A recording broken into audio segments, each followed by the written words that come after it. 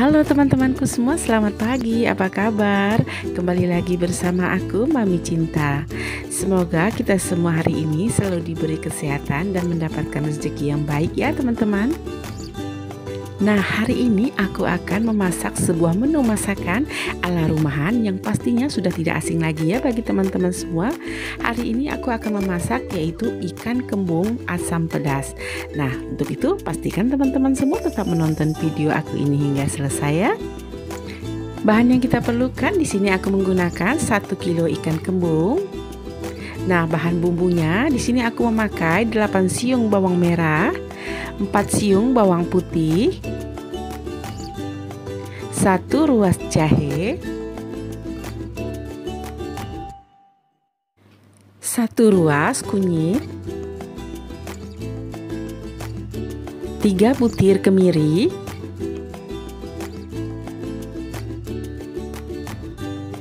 terasi. Nah, ini sifatnya opsional ya, boleh tidak digunakan juga tidak apa-apa.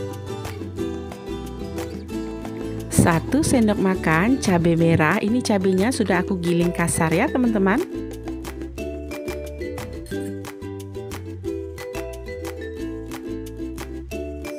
Lalu aku akan menambahkan air putih.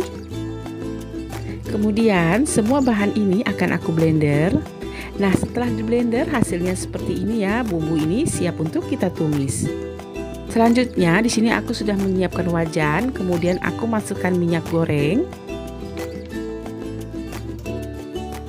Lalu kemudian aku tumis bumbu yang telah kita haluskan tadi ya.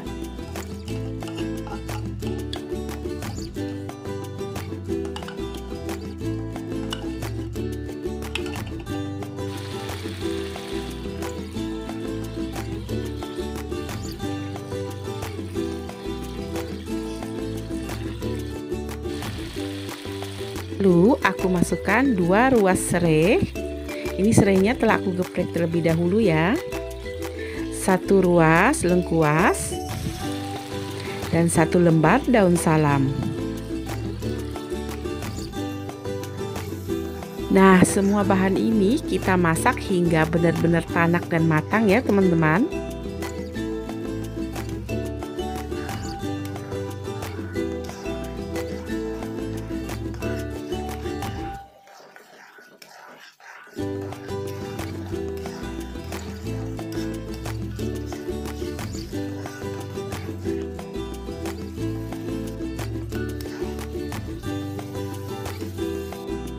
Selanjutnya aku juga menambahkan daun jeruk secukupnya saja ya teman-teman.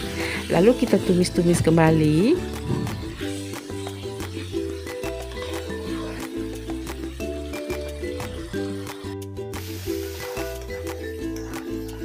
Nah bumbu ini sudah terlihat tanak dan matang sekali ya teman-teman Selanjutnya aku akan menambahkan 1 liter air kurang lebih ya teman-teman Nah, boleh ditambah lagi apabila teman-teman ingin menginginkan kuah yang cukup banyak.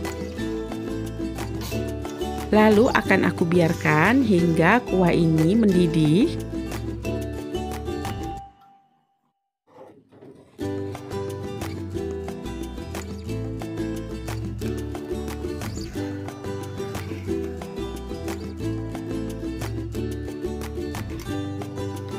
Nah, kuah ini sudah terlihat mendidih, lalu kemudian aku masukkan garam, kaldu jamur, dan satu sendok teh gula pasir. Lalu kemudian aku akan menambahkan ini ada asam kandis ya teman-teman. Boleh diganti dengan belimbing bulu. Nah asam kandis ini sangat enak sekali ya apabila kita memasak ikan. Apabila dirasa semua bumbu ini sudah tanak dan rasanya sudah enak Lalu kemudian aku akan masukkan ikan Ikan kembung yang telah kita siapkan tadi ya teman-teman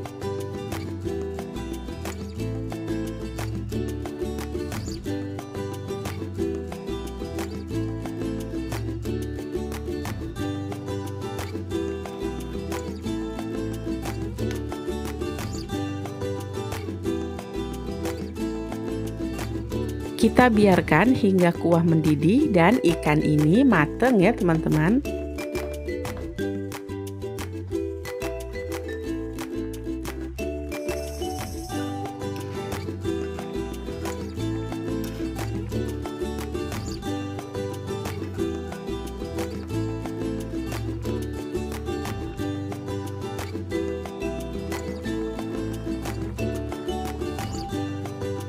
Nah ini ikannya sudah hampir matang seperti ini.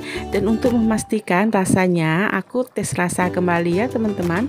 Apakah sudah semua bumbu-bumbu yang kita masukkan tadi sudah cukup? Nah aku rasa sudah cukup ya teman-teman.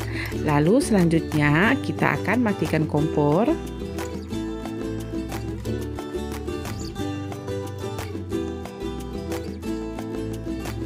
Dan ikan kembung asam pedas kita sudah siap untuk kita sajikan. Nah, sangat mudah sekali ya teman-teman proses cara pemasakannya dan bumbunya juga sangat sederhana.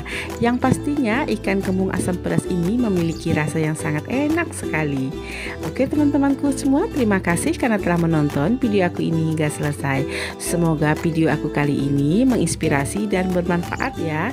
Kita bertemu kembali dengan video selanjutnya.